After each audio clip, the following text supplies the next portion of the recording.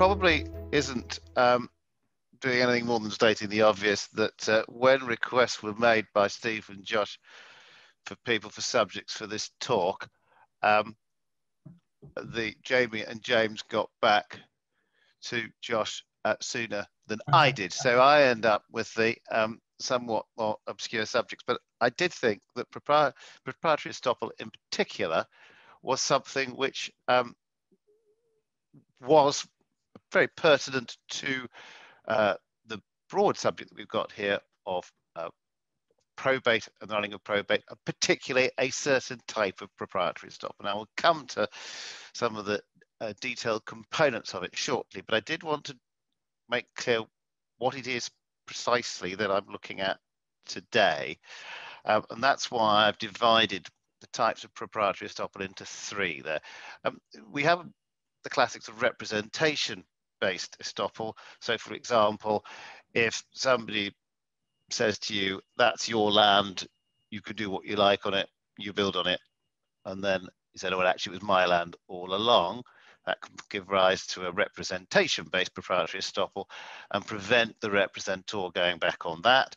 Um, we also have an acquiescence-based um, estoppel as well, uh, whereby simply by not doing anything and giving the impression that uh, uh, in that example that I just gave that the, the land in fact belonged to the person building on it, uh, that might give rise to an estoppel too. What I'm talking about I say, because this is what will come up, I think, nearly always, if it's going to come up in, in a private claim, will nearly always be what's called a, a promise-based, which the textbooks will call it a promise-based proprietary estoppel.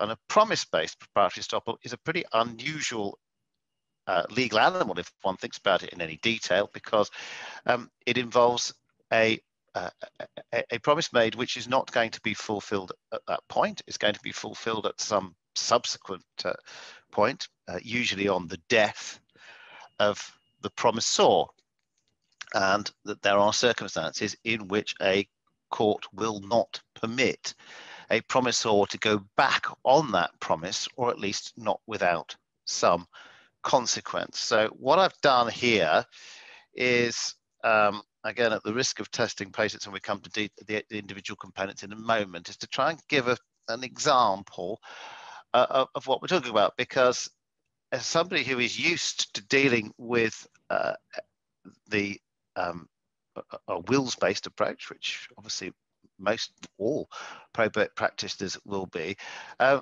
will find proprietary estoppel, I think, understandably, a little counterintuitive or uh, a little a little odd.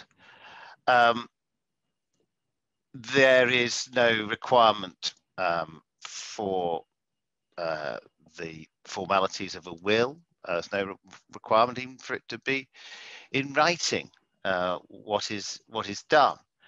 Um, and if the donor uh, thinks again, so if, if the donor says, "Well, when I die, this will this will be yours," um, and thinks again during the course of his lifetime, that doesn't necessarily get him off the hook. So it's not uh, it's not like a, a, will which is revocable um, at any point.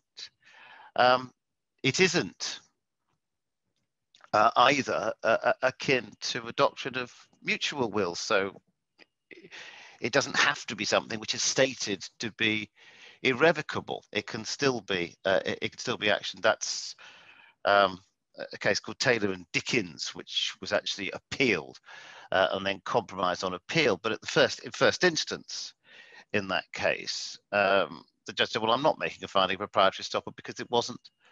Um, it wasn't stated to be an irrevocable promise that was made. That was officially disapproved of in uh, Gillett and Holt. It says that is not something uh, which is necessary, uh, or to use the words of uh, Lord Justice Walker, which you see there at item two, the inherent revocability of testamentary dispositions is irrelevant to a promise or assurance that uh, all this will be yours. Um, and the promise can even be made by, by saying, I will leave it to you in my will. Um, there is a uh, further point there, point four, which I've put down uh, there. This is really, I think, to sort of highlight the distinction between constructive trust and proprietary estoppel. Constructive trust, I'm not going to deal with today. today.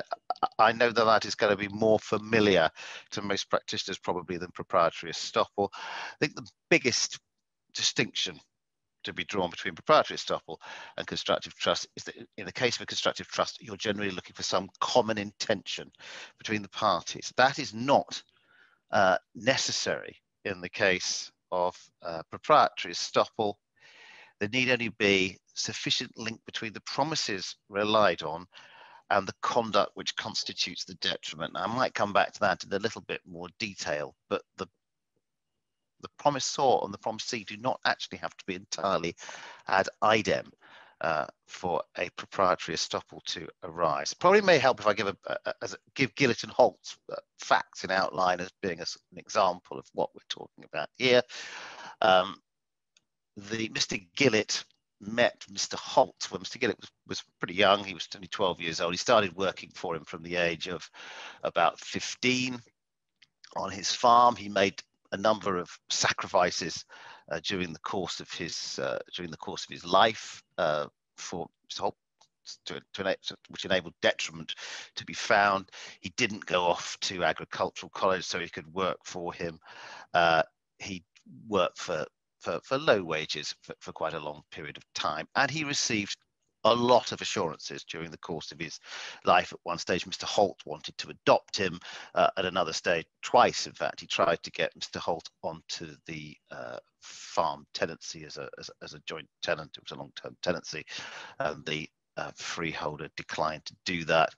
At the christening of Mr. Uh, Gillett's first child, uh, Mr. Holt said that the the farm would pass on to another generation. He'd been given assurances before he got married and all these kind of things. And then everything turned uh, when um, Mr.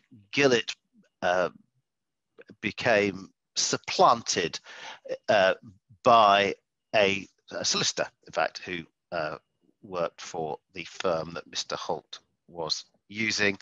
And the relationship between the Gilletts and Mr. Holt uh, soured, and they soured to the extent that not only did Mr. Holt take him out of his will, he um, even instigated uh, police action against uh, the Gilletts, Mr. and Mrs. Gillett, uh, for alleged um, malfeasance in respect of uh, managing accounts of the farm business, and they were subject to disciplinary action uh, in an employment context and dismissed. There was no there was no there was no police prosecution, but the relationship soured uh, hugely. And by 1994, uh, Mr. Wood had become the principal beneficiary in the will. Mr. Holt was still alive at this point, and um, because he, Mr. Gillett, realised that he'd been put out of the, what he'd been uh, promised over the years, he, he instigated action at that point. So he didn't actually even wait until Mr. Holt had uh, had, had passed on, and um, uh, in a bit of a hotchpotch, the, the court ultimately awarded him the freehold of the property that uh, he and his wife were, li were living in, the, the, farmhouse that they were living in, and compensation for being put out of the farm business that they would otherwise have um, uh, enjoyed. So I say that is an example of proprietary estoppel in action. I won't go in uh, to uh, some cases a bit more peripheral, uh, but uh, Anagra and Anagra is there as a, as a recent as a recent example. That's a case where some where the where the promissor had died very briefly. He was a Nigerian chieftain with three wives. Alice was the third of his three wives. He bought a house in I think about 1976. She moved into it in 1984, and he, she received numerous promises from him that he that she could live there for the rest of her life. He died in about 2007, and then she lived there uh, thereafter, and indeed. Uh, the second and third defendants, who was one of the sons, other sons of uh, the deceased and his wife uh, moved into the property. She spent money on the property. She spent about £5,000 replacing the boiler.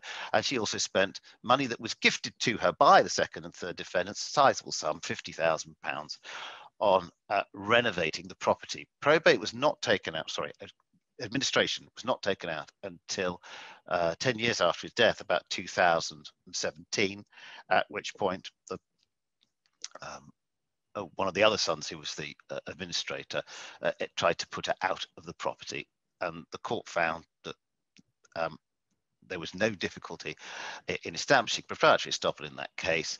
Um, the uh, administrator said, "Well, she's been living in there rent free for a long period of time. Is that is that not enough?" And the court felt that it wasn't. She was granted a life interest in uh, the, the property to give effect to the promises made. One of the things just to bear in mind in relation to that case, because it will come back to this, is the the deceased died believing that his promise would be honoured. So he didn't actually do anything wrong, and there isn't a point to bear in mind. There isn't actually any need to prove that the promisor has acted poorly or unconscionably. It is a question of what the overall the effect of the overall circumstances uh, are. Um, the countervailing benefits in that case, which I've quoted, uh, which were her rent-free occupation, were not sufficient to satisfy the equity, uh, as the wording uh, goes. Uh, another brief example I will refer to uh, more briefly. I promised to refer to Anagra briefly and didn't, but I will on this one. Uh, Lothian and Dixon, which is a, a more local case, uh, decided, I think in the Leeds District Registry, certainly in Yorkshire, uh, somewhere to give an example again of how proprietary estoppel can can work. Uh, two uh, cousins who had been in the uh, deceased's uh, will, um, Mrs. MacArthur, uh, since 1983. She left really everything to them in, in equal shares. She later became ill. She received a terminal diagnosis in about 2009 and asked uh, the uh, claimant to come in to live with her at the hotel that she ran to look after her and run the hotel, which she did for uh, about nine months out of every 12 for a period of two or three years until Mrs. MacArthur died. Mrs. MacArthur had actually, late in life, had tried to uh, redo her will. She'd forgotten about her earlier will and tried to do her will, leaving everything to the claimant, but she'd never got it executed properly uh, before she died. But she had promised the hotel uh, to uh, the claimant, and that was um, upheld uh, by Roger Kaye. He awarded her the entire estate, less some specific legacies which were in the uh, valid earlier will. So I say there are a couple of examples of proprietary estoppel in action, uh, which brings me a little belatedly to the principles, which is what one has to prove uh, if one is going to set up a proprietary estoppel. One needs an assurance of sufficient clarity or a promise of sufficient clarity, so it has to be clear enough. Um, and uh, we'll come to that in a second. The has to be reliance by the claimant upon that assurance, in fact. And then thereafter, he has to act to his detriment in consequence of the reasonable reliance that he has placed. And then finally, the court needs to be satisfied that the circumstances are such that it would be unconscionable for the promise not to be kept in whole or in part. And that in whole or in part is important because it gives the court a very broad discretion as to the awards that they make, wider than in the case of, for example, constructive trust. Um, there's also uh, um, I, have put in there because it appears in just about every case, is although those four components are nearly always trotted out, in fact, extended to eight uh, by Lord Justice Lewis in, in Davies and Davies, which, again, if people, it's quite a useful uh, way of uh, seeing how the courts approach it is to look at paragraph 38 of Davies and Davies. I say it expands a little, expands those four points into eight, but um, the point made by Lord Justice Walker in Gillett and Holt is that they aren't three or four watertight compartments. So they, they, they all weigh in the balance they all overlap. And if you've got high levels of unconscionability, for example, you may, may need to show less reliance, for example. Um, dealing with assurance of sufficient clarity first, the most important point to realize about this is that it doesn't actually matter what the intentions of the promisor were when he made his promise or gave his assurance. um, he may not have actually intended for the promisee to rely upon it. Um, so to use the words of Lord Hoffmann, the question was whether his words and acts would reasonably have conveyed to the promisee an assurance that he would do what he said he would do. And that comes from a case called Thorner and Major, which I won't um, I keep promising this, I won't give detailed facts in relation to it. The point in relation to Thorner and Major was a farming case, as a lot of these cases are, and the uh, promisee in, in, in that case was there was a family relationship that his father and and the and the farm owner were, were cousins and he so there was a family relationship there. He worked a long time uh, on the farm but they were very taciturn. They were found to be very taciturn men. The assurances that uh, mr thorner got in that case were were pretty minimal. Um, back about uh, 15 20 years before the uh, mr thorner senior died uh, he handed a the, some bonus from an insurance uh, policy to him and said, that's for my death duties. And there wasn't an enormous amount else uh, for, by way of assurance, for the court to go on uh, in that case. There had been a will which uh, Mr. Thorner had executed, in which he was the substantial beneficiary, uh, but he destroyed that will, not because of any falling out with Mr. Thorner Jr., but because uh, one of the he'd fallen out with one of the pecuniary legatees, and then he never got round to redoing his will. But the court in that case said, look, you've got to look at it from the point of view of uh, the people involved, and in this case, um, because they were so taciturn and knew, and knew each other, didn't have uh, a, a, lot of words, it was reasonable for Mr. Thorner Jr. to uh, take the words that were that were given to him as meaning that he was intended to inherit um, the farm. The property itself must be identified with sufficient clarity. Now, in Thorner, when the case came to the House of Lords, the defendant ran another, which was the estate, ran another argument. They ran a new argument. And they said, well, this this gentleman kept buying and selling bits of land, so that it wasn't identified with sufficient certainty when this promise was made as to what it related to.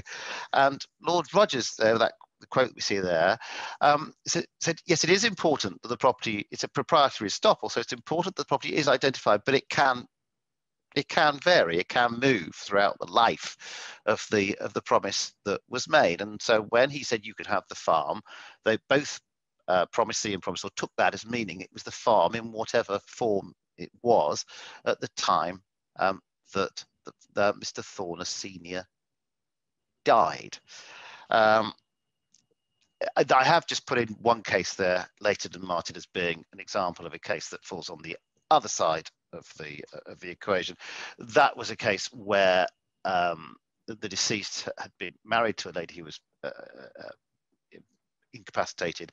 He he took um, the claimant, in fact, as uh, the mistress. That was the words used in the in, in the case, um, and they. He said, "I will give you such financial security during, financial security during my life and financial security after my death." And that was the extent of, uh, of of the assurance that he'd given her. They stayed together for a while, but by the time he died, they had been split up for a, a period of time. Um, and uh, the court said that that was not an assurance of sufficient clarity. The property itself was not uh, identified.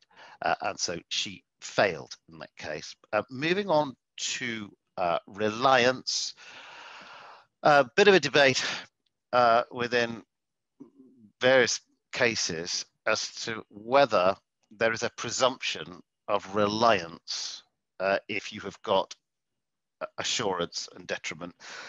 I think the bottom line uh, in relation to this is it it must be pleaded and proved, and you do not uh, you do not have a presumption. Um, there is a case which is probably, well, speaking, is not a uh, a case of uh, a promise-based uh, proprietary estoppel, but none the case, nonetheless, uh, a case of, of, certainly a case of estoppel. I think also proprietary estoppel, uh, called Steria and Hutchison, in which in which Lord Justice uh, Neuberger uh, says that there is no such presumption, which is effectively dis- there's a there's an earlier, much earlier authority of, of Lord Denning's going back to a case called Greasley and Cooke from 1980 which suggests that there is such a presumption. Um, and then there is one other case called Wayling and Jones, which suggests possibly that. But I think if one is going to run a case, I think one has to assume that there is no such presumption and prove it. If the promisee would have acted in the same way come what may, then generally under the law of estoppel, so if they were carried on the same way, even if the promise had not been made, that would defeat a proprietary estoppel claim. And that's why I've mentioned Taylor Fashions uh, and Liverpool Victoria trustees.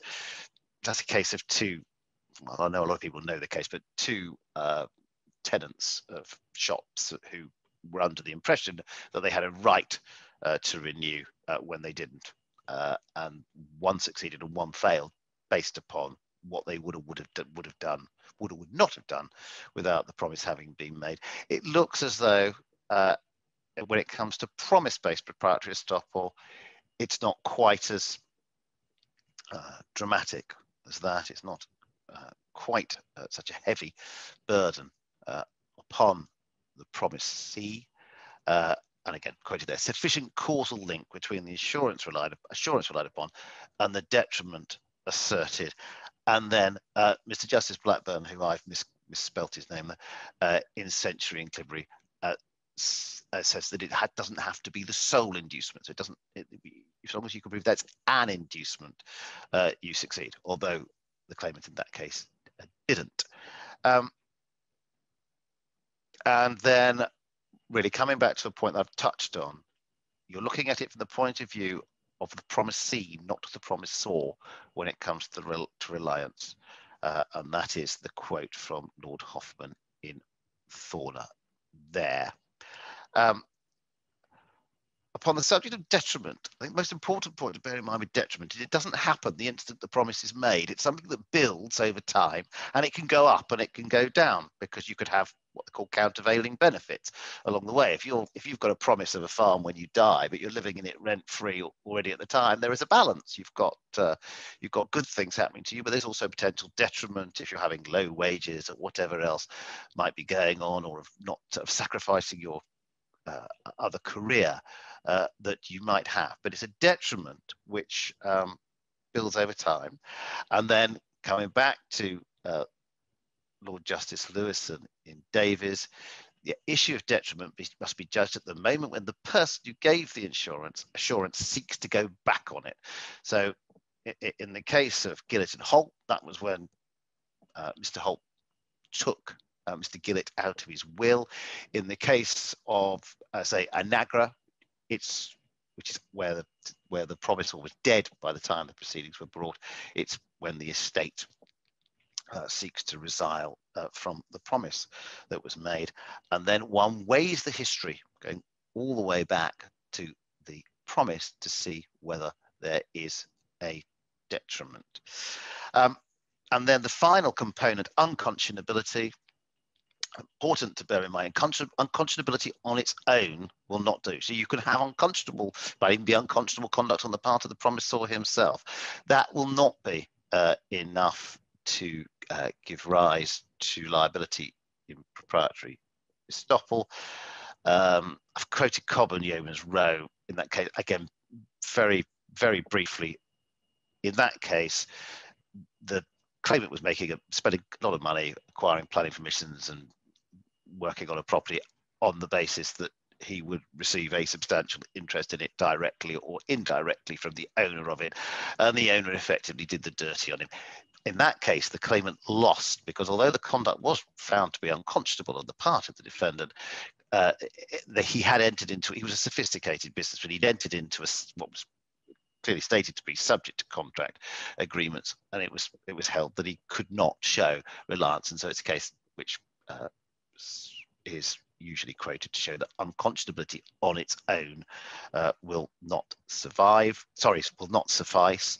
Um, I've repeated there really what I've said already that the promisor need not have behaved unconscionably, uh, and the promisor may have died believing, believing the promise had been fulfilled. Uh, Wayling and Jones is a, is another good example of that. Uh, two gentlemen, uh, the younger one did a lot of work for very little uh, on businesses that the uh, deceased had, which cafes and restaurants and so on, against promises of inheriting them, and then the he died before he'd managed to put his affairs in order and uh, again found in favour of the claimant in that case in establishing a proprietary estoppel. Um, and then uh, the question the court will ask itself is is the position of the parties such that the court is now justified in intervening and so that is this balancing exercise of all those various components uh, of, of, the assurance made, the reliance, the detriment, and any unconscionability in the result. It's an unconscionability in the result, and then weigh that against the countervailing uh, benefits. And then, if if those thinks it is sufficient of an imbalance, it will make an award to set it to satisfy the equity. Again, important to bear in mind this is this is this is equity, it is estoppel, it's not a trust. And so section two, for example, law of property um, miscellaneous provisions act, which generally requires any land to be uh, in writing and, and, certain formalities and so on, does, is not an impediment to a proprietary estoppel uh, award, even if it involves land. Um, and when it comes to awards, extremely wide discretion in the court. Uh, wider certainly than, than, constructive trust even. Uh, high watermark for it is generally what the claimant's expectation uh, was at any given time based on the uh, assurances that they had. That too can fluctuate. Uh, so you could have a case, um, maybe say Habberfield and Habberfield recently, another farming case, where the daughter on the farm, she was in and out of the farm. Sometimes she was working on it, sometimes she'd fallen out and gone off and done something else. So her expectations were going up and down and up and down uh, during the course uh, of, uh, of, her of her life, and then I think her father died. I think her mother was still alive at the time of the uh, uh, of the court action, and then the court valued uh, the, the, detriment against the benefits that she'd had, which involves some rent-free periods, and then the expectation that, uh, as it stood um, at the time that she was making her claim, as, was was then um, given that as the starting point, and then deductions made from uh, from that point. Uh, in that case, in particular, she turned down a partnership in the farm uh, a few years earlier, which again would lower the expectation uh, that she should have. But I thought that's just an example of the kind of flexibility that the court has. Um, I'm already 10 past six. So now this is copyright Walker. I didn't put in, are you ready for the letter? But I'll, we'll get it out quickly. In absolute outline, uh, I know it doesn't come up all that often, but Donatio, Donatio Mortis Causa uh, is still it's still good law. It's not particular judges don't seem to be particularly fond of it, but they, they do keep it very very narrow. Um, so all these requirements must be must be met. Uh, I think for people who are unfamiliar with it, it's it's people who are just about to die or think they're just about to die, and um, I think the theory behind it is they haven't got time to put together a will, and so they make uh so they make a gift, perhaps a bit akin to will formality is not applying to the military, something like that. Um, the gift must be in contemplation of impending death. So it doesn't have to be imminent death, but he has the the donor has to believe that his death's near, and he has to know the reason where why it is that he thinks he's he's dying. Um, I also must be conditional, and this is this this knocks out a lot of Donatio Mortis uh, Causa claims, um, because so it has to be that if he doesn't die, if it proves to be a false alarm, that that is revoked. And so, for example, if you have a case such as King and Dubrey, maybe, which is relatively recent, in which the um, in which the, the donor in fact had made had made a will, but it wasn't properly uh, executed, that was fatal to the claim in Donatio Mortis Causa because it showed that he wasn't intending it to be revocable in the event of his uh, of him of him not uh, dying in in the near future. And then finally, the subject matter must have been delivered. In the case of land, keys will do. So keys to the property will do, and indeed, uh, even keys to the box that contains the title deeds have been found sufficient, but there has to be uh, has to be delivery uh, in some in some form. So I say doesn't come up all that often. Though I did have one last year uh, uh on Donatio Mortis Causa, and I thought I would add it in because uh, it's relevant and uh, you can still run DMC. it's it's like that. That's the way it is. I shall end there.